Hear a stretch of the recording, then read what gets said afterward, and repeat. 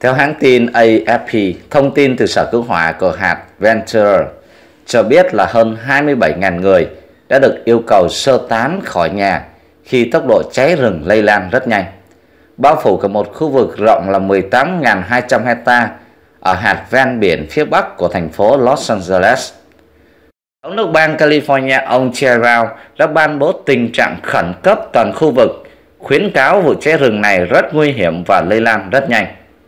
Do đó yêu cầu mọi người dân sẵn sàng sơ tán ngay khi được yêu cầu.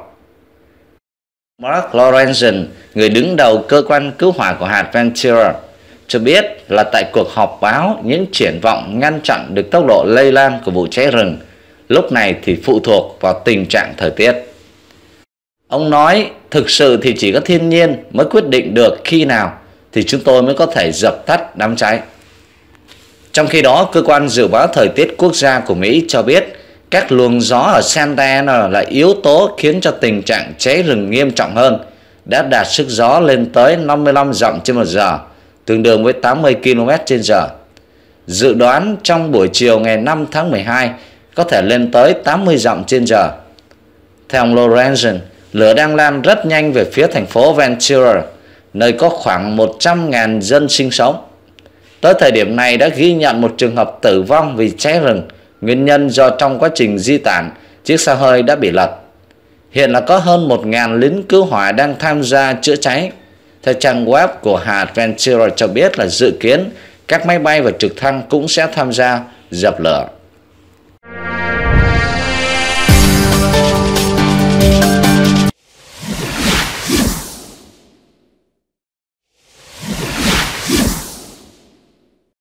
Đám cháy rừng mới bùng ra ở Los Angeles vào sáng sớm ngày thứ Tư, trong lúc các lính cứu hỏa vất vả ngăn chặn ba đám cháy khác đang đe dọa nhiều khu dân cư khắp vùng Nam California. Đám cháy mới nhất này xảy ra gần Getty Center ở Los Angeles, khiến cho dân chúng khu vực phải di tản và giới hữu trách phải đóng một phần xa lộ trọng yếu này giữa khi các đám cháy khác đang tiếp tục lan rộng sang đến ngày thứ ba. Đám cháy rộng khoảng 50 hecta được giới hữu trách gọi là Skirrow Fire vì ở gần trung tâm Skirrow Center bùng ra lúc khoảng 5 giờ vào sáng ngày thứ Tư, giờ địa phương, gần nơi xa lộ liên bang 405 cắt ngang Mulholland Drive ở Bel Air.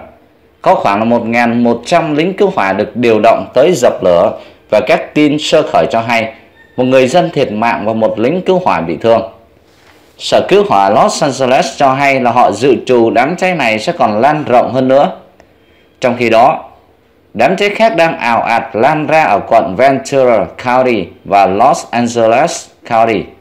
Đám cháy lớn nhất có tên là Thomas Fire ở bên trong và chung quanh thành phố Ventura mở rộng thêm 10.000 hecta trong đêm lên tới 65.000 hecta và tràn ra xa lộ 101 trong khu vực.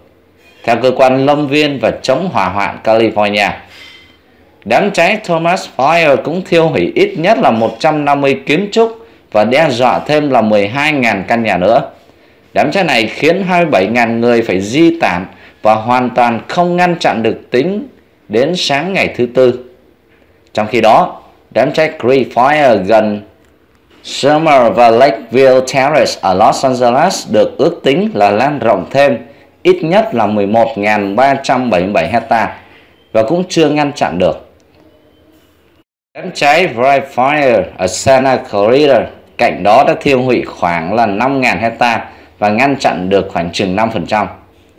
Sở khí tượng quốc gia NWS cho hay, gió sẽ có phần nào yếu đi trong ngày thứ Tư nhưng sau đó sẽ mạnh trở lại vào lúc chiều tối, kéo dài sang đến ngày thứ năm.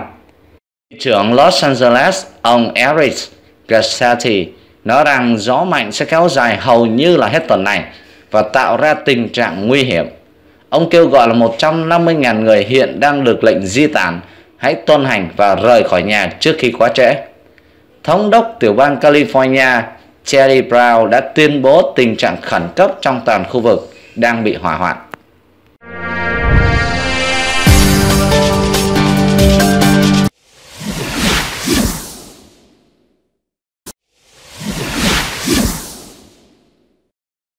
Không thuê thợ đồng nào, vợ chồng chị Lê Phạm biến ngôi nhà đơn sơ của mình thành không gian ấm cúng và nhiều tiện ích. Lấy chồng năm 2015, chị Lê Phạm bắt đầu thay đổi dần ngôi nhà 3 tầng, trong đó có một hầm. Thành phố Denver, thuộc tiểu bang Colorado, Hoa Kỳ. Trước đó, căn biệt thự nằm trên khuôn viên 1.000 m2, khá là đơn giản.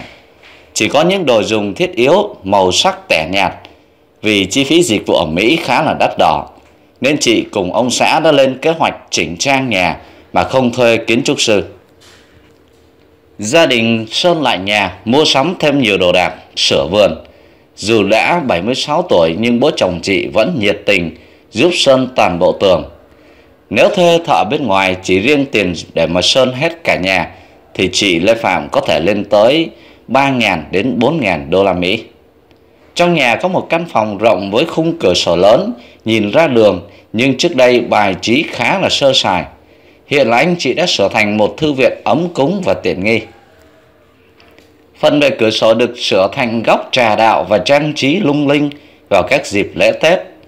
Ở Mỹ thì hầu hết mọi người đều tự làm mọi việc vì máy móc vật liệu đều có sẵn. Trẻ em từ khi còn nhỏ đã chơi Lego nhiều nên lớn lên đọc được các bản vẽ kỹ thuật dễ dàng hơn, chị chia sẻ. Sự xuất hiện của bé gái Bernie cũng khiến cho bố mẹ phải tính toán kỹ lưỡng trong việc thiết kế phòng ngủ.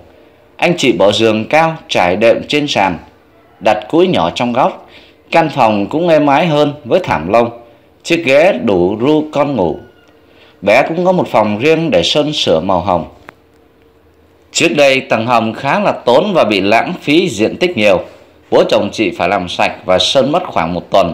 Khi nơi này biến thành một phòng chơi rộng rãi với đủ nhà búp bê, đồ chơi ngộ nghĩnh cho bé Bernie. Dù không làm gì liên quan tới xây dựng nhưng anh xã của chị rất là khéo tay, chịu khó và yêu thích việc tự chế mọi thứ. Anh làm ngôi nhà bằng bìa cắt tông, nẹp gỗ cho con. Trên khoảng đất rộng 1.000 mét vuông, anh chỉ làm 3 phòng ngủ, một phòng khách, bếp ăn liền kề. Phần diện tích còn lại để bố trí các không gian thư giãn.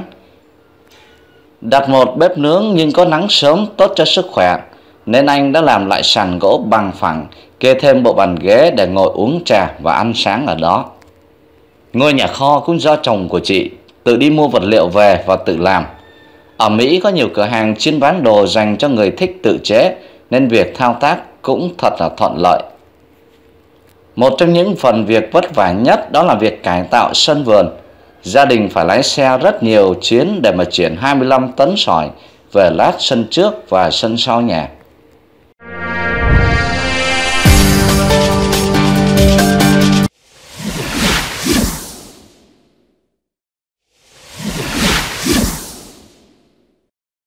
Một người đàn ông Mỹ đã được vứt cho vé số trúng tới 1 triệu đô la Mỹ nhưng tưởng rằng đó là một trò đùa, theo UPI đưa tin.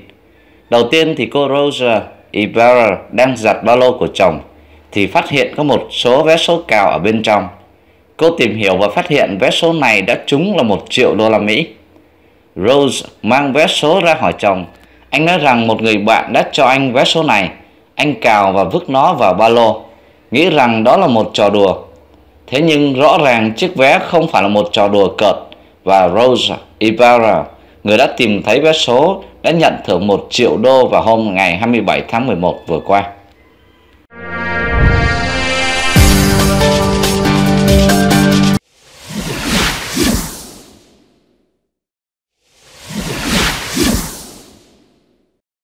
Là người con xa quê ngay từ khi mới lọt lòng mẹ, Trần Việt Kiều Đức thắng lưu lại quyết định quay trở về Việt Nam – để phát triển sự nghiệp sau hơn 30 năm sống nơi đất khách quê người. Sinh ra và lớn lên ở Đức, anh chàng Thắng Lưu hiện là chủ một nhà hàng Việt. Điều hành song song với một tiệm bán kebab, còn được viết là kebab, là một món ăn sử dụng thịt nướng phổ biến tại Trung Đông, Đông Địa Trung Hải và Nam Á. Các món kebab rất đa dạng, thông thường sử dụng thịt cừu và bò. Ngoài ra còn có gà, heo, dê và cả cá, tôm, cua. Cùng nằm trên phố Tây Bùi Viện, không ngờ rằng có một ngày mình lại yêu và muốn sống ở quê cha đất mẹ. Bố mẹ của anh đều là người Việt đến vậy. Hồi còn ở Đức tôi làm nhiều công việc lắm. Chuyên ngành của tôi là công nghiệp cơ khí. Nên sau khi tốt nghiệp tôi đã trở thành kỹ sư. Có nơi làm việc riêng, chuyên chuẩn bị và sửa chữa máy móc nên không ngơi tay gần như là 24 trên 7. Lúc nào cũng làm. Sau đó khi thấy chán quá tôi chuyển qua nhảy nhót, nào là sang Hollywood học nhảy và về lại Đức làm vũ công và giáo viên dạy nhảy tự do. Và tôi biết rằng khá khó để mà làm điều này ở Đức vì nước Đức không có nhiều siêu sao để làm việc cũng như là ở Mỹ. Sau đó tôi chuyển qua làm cho công ty của chị tôi. Nhưng mọi thứ cũng không suôn sẻ. Chúng tôi thất bại rồi tôi chuyển qua làm ở quầy cocktail, phục vụ quán cà phê, cả nhà hàng Nhật nữa. Anh Thắng kể lại khoảng thời gian chật vật ở trời Tây. Cho đến khi một người bạn đồng thời cũng là sếp cũ rủ anh về Việt Nam, anh lưỡng lự. Chính anh cũng không hiểu vì sao. Có thể là vì tôi sinh trưởng ở nước ngoài, tôi cảm thấy mình không có mối liên hệ nào mật thiết với Việt Nam. Nên tôi nghĩ đó là điều xảy ra với tôi lúc đầu. Khuôn mặt anh Thắng đăm chiêu, nhưng bằng cách nào đó mà anh bạn của tôi đã thuyết phục được tôi. Và thế là tôi theo anh ấy về Việt Nam. Bây giờ tôi cảm thấy rất thích và tôi thực sự yêu quý nơi này, anh chia sẻ. Kể từ khi tôi về nước 2 năm, bố mẹ có sang Việt Nam thăm tôi. Một trong hai người chị của tôi cũng về đây thăm tôi nữa, nhưng tôi lại không có cơ hội về Đức. Thú thật là tôi không có sự hối thúc mạnh mẽ nào để quay về Đức sống cả. Tôi thích sống ở đây lắm. Tất nhiên tôi sẽ trở lại để xem cuộc sống ở Đức đã thay đổi như thế nào. Nhưng tôi đã xem Việt Nam như là nhà và ngoài ra tôi còn có công việc cần chú tâm coi quản và đây cũng là lý do tôi cần ở lại Việt Nam. Đang điều hành một nhà hàng Việt Nam, anh Thắng Lưu lại bắt tay vào kinh doanh thêm một cửa hiệu nhỏ chuyên về kebab. Anh kể một tối đi làm về. Tình cờ ghé mua kebab gần nhà hàng, anh cảm thấy là ngon và trở thành khách quen. Nhưng rồi quán đóng cửa không có lý do. Anh hỏi thăm và sau đó nảy sinh ý định mua lại quán để tiếp tục kinh doanh. Khi nghe điều này, phần đông mọi người cười cười nhạo anh vì cho rằng anh đang bán loại thức ăn đã có quá nhiều ở Việt Nam. Làm thế chẳng khác nào tự giết mình. Có người thắc mắc là sao anh không ở Đức mà sống, vì nếu là họ thì họ sẽ chọn sang Đức ở cho sướng. Tuy nhiên anh Thắng thổ lộ, anh thích là người nước ngoài ở Việt Nam hơn là một người Việt sống ở Đức. Ở Đức bạn có thể hưởng một nền giáo dục tốt, học cách sắp xếp mọi thứ một cách nâng cao hơn, phải luôn đúng giờ và chính xác. Những suy nghĩ đó thấm vào người bạn đến khi bạn về Việt Nam. Chúng khá là hữu dụng. Nhưng có nhiều thứ ở Việt Nam khác với Đức lắm, như giá trị gia đình chẳng hạn. Đó là lý do tôi thích cuộc sống ở đây và chúng truyền cảm hứng cho tôi tiếp tục cuộc sống tại Việt Nam. Tôi nghĩ mình nên tới đây sớm hơn khoảng 4 năm trước chẳng hạn. Anh cười. Theo anh thì Việt Nam rất năng động. Nội tại có người Việt Nam ham học hỏi lại linh hoạt, thân thiện, ấm áp, ân cần và có lòng kính trọng người khác. Đó là những thứ mà theo anh Thắng là không thể thấy nhiều khi sống ở nước ngoài. Anh trải lòng, tôi học được những giá trị lớn về đời sống, xã hội, cho đi và nhận lại. Những thứ giao tiếp đó tôi không nhận thấy nhiều khi còn ở Đức hay cuộc sống ở phương Tây nói chung. Đó là những thứ giữ tôi ở lại nơi này. Việt Nam với tôi là như thế đó.